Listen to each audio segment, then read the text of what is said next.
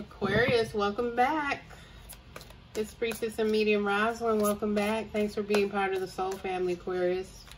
I hope you're blessed and well and safe. I hope your family's safe. I hope you're prospering and moving along. This is going to be your general love energy read for, you know, this last week of July up through August. Um, the readings have been going pretty good. They've been kind of intense. Some of the signs really are kind of intense, but there's a lot of changes in our environment, in our world right now, and I think it's really affecting our relationships, Aquarius.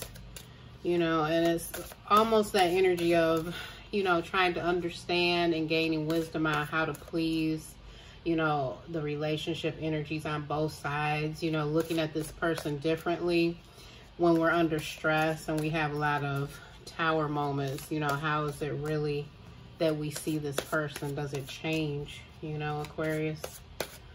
Um, I want to thank you all for your private reads, for your subscriptions, for your thumbs up, for sharing my videos. Thank you very much. And I also want to say the phone readings are going very well.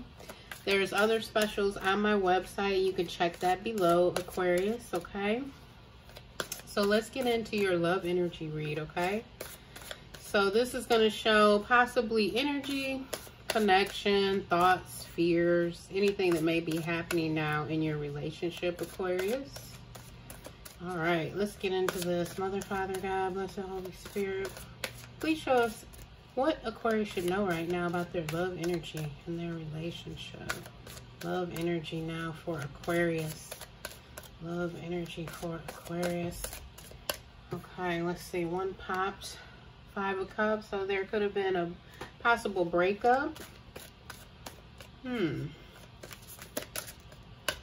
Let's see here. Hmm. All right. Five of cups, goddess cups. Yeah, um, it looks like there's been a lot of fears ignited here, Aquarius. So there could have been a breakup or a threat of a breakup. Um, it could be with a Cancer, Scorpio, or Pisces, someone with a lot of water in their chart, Aquarius. And then I've seen, you know, the swords here where someone is really bound up with a lot of anxiety. Um, I'm being told someone has a lot of guilt also. Um, yeah, there's healing needed, but this is like guilt from it could have been because someone spoke too harshly. That's almost what it feels like. Someone spoke really harshly, like there was an argument and it affected one of you or you, you know, vice versa, through this heart energy of the cups. Like someone was really willing to give and to be open. It could be a mother, it could be children involved. And this person, you know, they they experienced some pain from the other person speaking or acting too harshly um, and this feeling of, hmm, I feel like it was an issue of uh, commitment, Aquarius. That's what it feels like. There was some kind of issue with commitment. Let's see. Page of Pentacles, Five of Pentacles. Oh, yeah. Wow. so, Aquarius, what's happening here, it looks like you received some messages and energy information from your partner, okay? Um, and it looks like you feel left out because the information, you know, the energy, the arguing, you know, their actions may have been really harsh, making you feel that you're left out. You're left out of plans, you're left out of the love, uh, the attention you need, a lot of competition. You know, especially with this deck, the Five of Swords is like a lot of competition and leaving someone really left, you know, hurt and wounded. So that's what I feel this Five of Cups is about. The information, the energy, and the actions between you and this person are really, really harsh. And it leaves it, you know, like you really need the safe space to um, feel comfortable again, to feel secure in your own relationship. Let's see, some, yeah, it involves something kind of heavy. I feel like it might have affected two of you, you know, the both of you really affected the two of you. And there could be children involved, you know, there could be a lot of, we put time and energy into this, trying to make it right, trying to make it work, you know, and you may be in that space of, wow, I thought this might grow. I thought we might be able to heal one another with problems. And then it kind of went left on you because you're looking for, you know, healing from, you know, being left out of your own, you know, your own feeling of comfort, your own love, your own relationship. So it's like you're you're looking for a safe space, okay? So with this kind of energy with the 6 of swords, someone could decide they're going to move. You know, someone could decide I'm going to take a break from this because it's just too much going on. It's too much fighting. It's getting a little too crazy with that five of swords here. Let's see what else is going on. Yeah, someone actually walked away. So for some of you Aquariuses, someone actually left and said bye-bye. Yeah, six of swords, eight of cups. Someone may have especially if the two of you haven't known each other very long, Aquarius, someone could ghost, you know, someone may have ghosted you or you them. Because what's happening is the wheel is going to turn. It's going to move regardless. So for some of you, the wheel is going to be that perfect energy for you to go ahead and leave. You know, to find peace of mind, forgiveness, happiness, to find some peace. For some of you, this wheel is like, you know, I'm going to try and go deeper so that I can finally get the emotional fulfillment I need to go back to this person.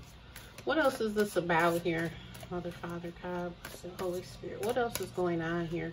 What was all the arguing about? Let's see.